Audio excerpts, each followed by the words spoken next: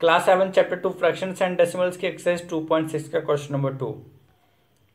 Question number two में हमें area find out करना है रेक्टेंगल का, जिसका हमें लेंथ दे रखा है एंड ब्रेथ दे रखा है। तो कैसे सॉल्व करेंगे? एरिया ऑफ़ रेक्टेंगल का हमें फॉर्मूला पता है, बस इसमें क्या है?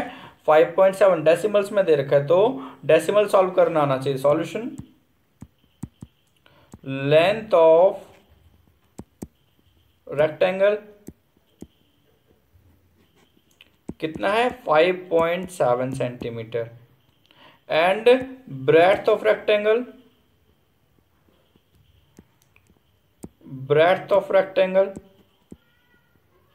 कितना दे रखा है? थ्री सेंटीमीटर एरिया का फॉर्मूला क्या होता है? Area of rectangle area of rectangle का फॉर्मूला होता है हमारे पास length into breadth that means five point seven का मल्टीप्लाई हो जाएगा थ्री के साथ। अब फाइव पॉइंट सेवन में पॉइंट को हटा दो फिफ्टी सेवन का थ्री से मल्टीप्लाई कर लेते हैं।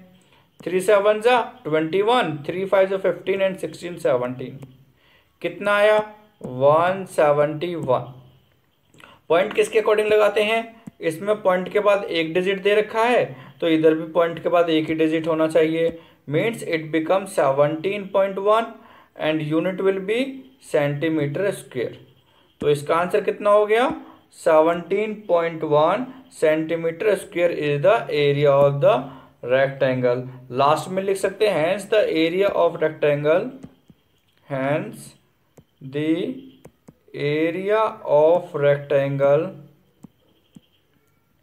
is 17.1 centimetre square thank you